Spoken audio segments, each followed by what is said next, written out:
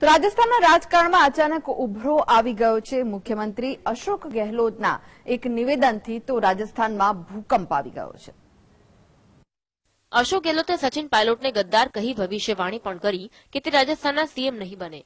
દસથી વધારે ધારાસભ્યો નથી. એ ગદ્દાર સીએમ કેવી રીતે બની શકે? જ્યારે સચિન પાયલોટે વળતો જવાબ આપતા માત્ર એટલું જ કહ્યું કે મુખ્યમંત્રીને આવી ભાષા શોભે નહીં. રાજકારણમાં કોઈ નેતાએ બીજા નેતા પર કીચડ ઉછાળવા કે તેમને નીચા દેખાડવા ગદ્દાર શબ્દોનો પ્રયોગ કર્યો હોય તેવી આ કોઈ પહેલી ઘટના નથી. અગાઉ પણ અનેક નેતાઓ તેના હરીફને ગદ્દાર કહી ચૂક્યા છે. ક્યારેક એકનાથ શિંદે તો ક્યારેક આરસીપી સિંહે પણ ગદ્દાર શબ્દનો પ્રયોગ કર્યો છે. જ્યારે આરસીપી સિંહે તો નીતિશ કુમારને ગદ્દાર કહ્યા હતા. તેમના ઉપર પાર્ટીના ધારાસભ્ય તોડવાનો આરોપ લગાવ્યો હતો.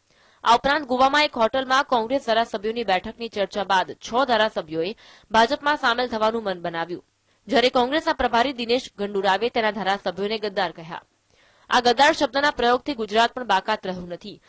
અને પૂર્વ મુખ્યમંત્રી શંકરસિંહ વાઘેલાને પણ ગદ્દાર કહેવામાં આવ્યા હતા. રાજકારણમાં ગદ્દાર શબ્દ અવારનવાર આવી રહ્યું છે.